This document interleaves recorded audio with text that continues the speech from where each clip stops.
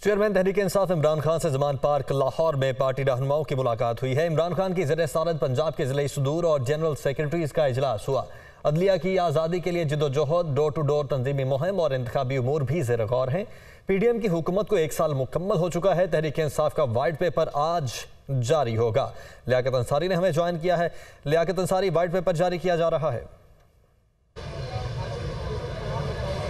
आज बिल्कुल इस वक्त तहरीक साफ़ की क्यादत। इमरान खान की जेर सतारत इजलास में जो है वो सर जुड़े बैठी है, जिसमें सूबा भर के जो डिस्ट्रिक्ट दूर और जनरल सेक्रेटरीज हैं, वो इस इजलास में शरीक है। बुनियादी तौर पर इस बात का जायज़ा लिया जा रहा है कि जो अदलिया मुखालफ हकूमती सतह पर इकदाम किए जा रहे हैं, उसकी रोकथाम के लिए और सुप्रीम कोर्ट की बालादस्ती और सुप्रीम आइन की बालादस्ती के लिए जो है वो पी टी आई क्या इकदाम उठा सकती है, इस पर बातचीत की जा रही है। एक साल जो दौरे हुकूमत है पी डी एम का, उसमें जो पी टी आई के खिलाफ खिलाफ इंतकामी इकदाम हुए, जो सियासी कारकुनों की गिरफ्तारियाँ हुई, जो मुकदमात का सामना करना पड़ा, उसका अहाता आज के इजलास में किया जा रहा है और साथ ही साथ इस बात का जायज़ा लिया जा रहा है कि अदलिया बचाओ मुहिम जो है और अदलिया की बालादस्ती के लिए तहरीक चलानी पड़ी तो वकला के साथ पी टी आई किस अंदाज से जो है वो ताउन करते हुए इस तहरीक को बर्पा करेगी?